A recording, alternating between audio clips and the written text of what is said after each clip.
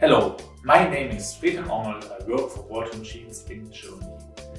This tutorial shows you how you can easily create a point cloud out of your tools with our Helicheck 3D machine.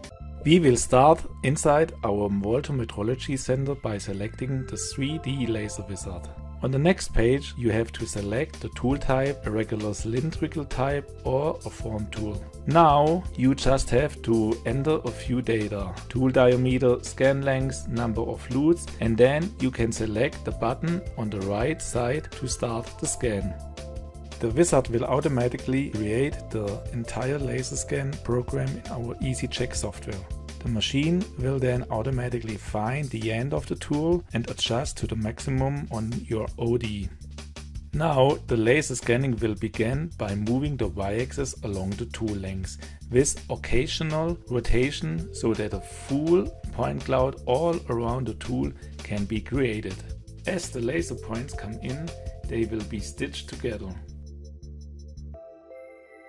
The laser axis can also rotate in two directions, positive and negative, to be able to find areas inside the core, gash or the end face of the tool.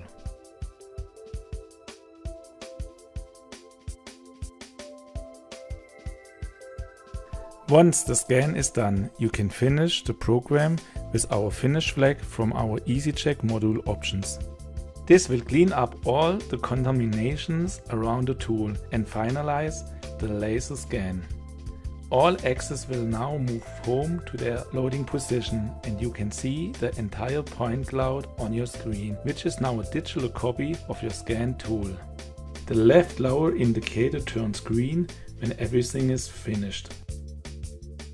This point cloud or digital copy of your tool can now be saved on your hard drive. This can be easily done by selecting the file menu on the upper left and saving it as a laser project. Whenever you need this point cloud again, it can be easily reloaded into our tool analyzer for further geometry or attribute inspection. We will follow up with our tutorials to show you how you can measure geometry attributes on this point cloud. Thank you for watching this tutorial. See you soon. Bye bye.